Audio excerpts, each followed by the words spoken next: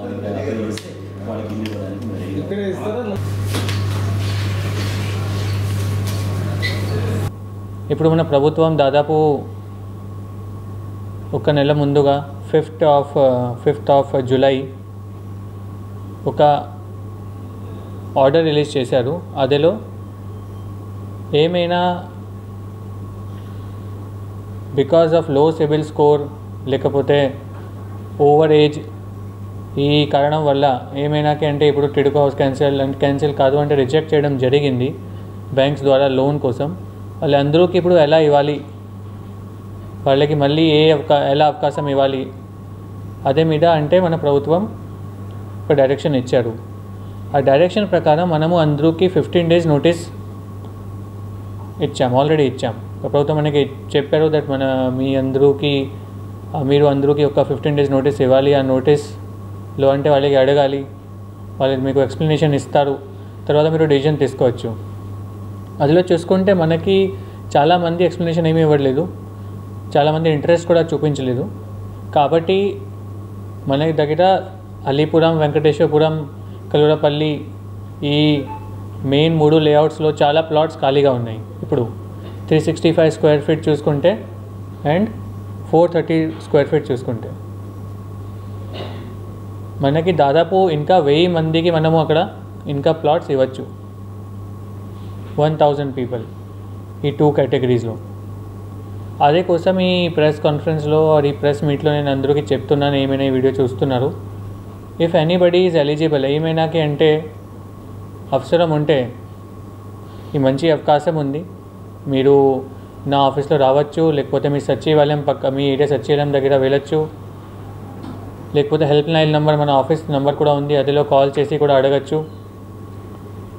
మీకు plots three sixty five square feet కోసం up front contribution twenty five thousand చేయాలి. తర్వాత loan component three lakh fifteen thousand ఉంది. అది కూడా మీ మీ అది టోటలీ మీ చాయిస్ అది మీ ఇష్టం. మీరు మీ దగ్గర డబ్బులు ఉంటే మీరు డైరెక్ట్లీ మనకి మన ఆఫీస్లో ఇవ్వచ్చు.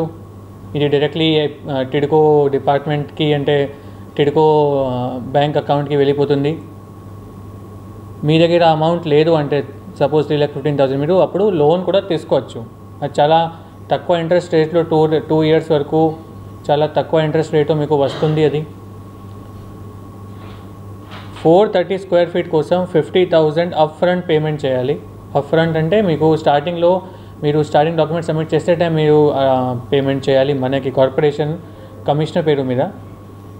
అండ్ తర్వాత loan three lakh sixty five thousand వరకు ప్రభుత్వం మీకు హెల్ప్ చేస్తారు. అదిలో తక్కువ ఇంట్రెస్ట్ రేట్లు మీకు మనం తెప్పిస్తాం.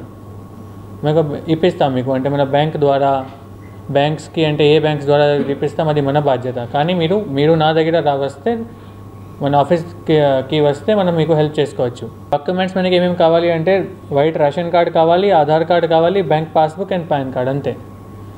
ఈ ఫోర్ డాక్యుమెంట్స్ కావాలి అంతే. ఇంకా ఏం అవసరం లేదు. సో ఈ డాక్యుమెంట్స్ మీ దగ్గర ఉంటే మీరు డైరెక్ట్లీ అప్లై చేసుకోవచ్చు. అండ్ ఇంకొకటి రిక్వెస్ట్ అంటే ఏంటి? మీరు ముందుగా మీ సిబిల్ స్కోర్ చెక్ చేస్తే ఇంకా మంచిగా ఉంటుంది.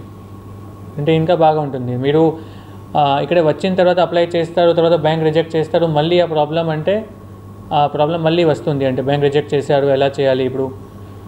అదే కోసం ఇప్పుడు మన ప్రభుత్వం ఆ గవర్నమెంట్ ఆర్డర్లో క్లియర్గా రాశారు. ఏమైనాకి అంటే సపోజ్ బ్యాంక్ ప్రాబ్లం ఉంటే వాళ్ళు జాయింట్ ఓనర్షిప్ కూడా చేసుకోవచ్చు. ఏమైనాకి ఓవర్ ఏజ్ ప్రాబ్లం ఉంటే వాళ్ళు కూడా జాయింట్ ఓనర్షిప్ చేసుకోవచ్చు. జాయింట్ ఓనర్షిప్ అంటే ఏంటి? ఎగ్జాంపుల్ నా వయసు అంటే సపోజ్ అరవై దాటింది. ఎగ్జాంపుల్ నాకు అంటే ఇప్పుడు లోన్ రాదు. కానీ నా my son is there or my daughter in law is there వాళ్ళకి సిబిల్ స్కోర్ మంచిగా ఉంది ఏజ్ కూడా తక్కువ ఉంది. వాళ్ళ పేరు మీద కూడా వాళ్ళ పేరు నా పేరు నా పేరు కలిపి ఒక న్యూ అగ్రిమెంట్ మనం పెట్టచ్చు. అండ్ లోన్ వాళ్ళ పేరు మీద వస్తుంది. నా పేరు మీద కాదు. సో అది కొంచెం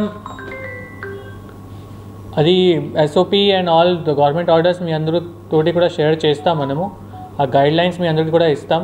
మీరు చూసుకోవచ్చు. ఈరోజు మన డైలియర్ కమిషనర్లో దాదాపు పది మంది కాల్ చేశారు morning nine thirty to ten thirty మధ్యలో. అండ్ అదే తర్వాత స్పందనలో దాదాపు థర్టీ ఫైవ్ మెంబర్స్ వచ్చారు. అండ్ మోస్ట్లీ అంటే ఇప్పుడు మోస్ట్ పర్సంటేజ్ ఆఫ్ గ్రీవెన్సెస్ చూసుకుంటే స్పందన డైలాగ్ కమిషనర్ కలిపి టెడ్కో గురించి కంప్లైంట్స్ ఎక్కువ ఉన్నాయి ఇప్పుడు. టెడ్కోలో అంటే మెయిన్లీ అది వాళ్ళే చెప్పారు అది రిఫండ్ రాలేదు మనకి కొంచెం సిబిల్ స్కోర్ రిజెక్ట్ అయ్యాము మనం ఎలా చేయాలి? ఆల్ సచ్ కేసెస్ మనం వాళ్ళకి గైడ్ చేస్తున్నాం. సపోజ్ రిఫండ్ రాలేదు అంటే ఇప్పుడు ప్రభుత్వం ఆల్రెడీ అండర్ ప్రాసెస్ ఉంది ఉన్నాయి మొత్తం రాష్ట్రం కోసం. వాళ్ళు ఈ నెల లోపల లోపల మొత్తం అమౌంట్ రిలీజ్ చేస్తారు. రిఫండ్ కోసం అందరికీ ఇచ్చేస్తాం అది ఒకటి. సెకండ్ సిబిల్ స్కోర్ రిజెక్ట్ చేసిన వాళ్ళకి ఆల్రెడీ మీకు ఇప్పుడు చెప్పాం. జస్ట్ ఇప్పుడు ప్రాసెస్ అంటే ఏంటి? ఎస్ఓపి అంటే ఏంటి? Standard of standard operating procedure అయితే ఏంటి? అది కూడా చెప్పడం జరిగింది. సో అదే కాకుండా మెయిన్లీ రెగ్యులర్ గ్రీవెన్సెస్ ఉన్నాయి. డ్రైన్ ఇష్యూస్ లేకపోతే సమ్ రోడ్ ఇష్యూస్ ఇదిలాగా ఇష్యూస్ ఉన్నాయి. కానీ ఒక మంచి మాట అంటే ఏంటి? శానిటేషన్ రిలేటెడ్ ఇష్యూస్ చాలా తక్కువ వచ్చింది అంటే.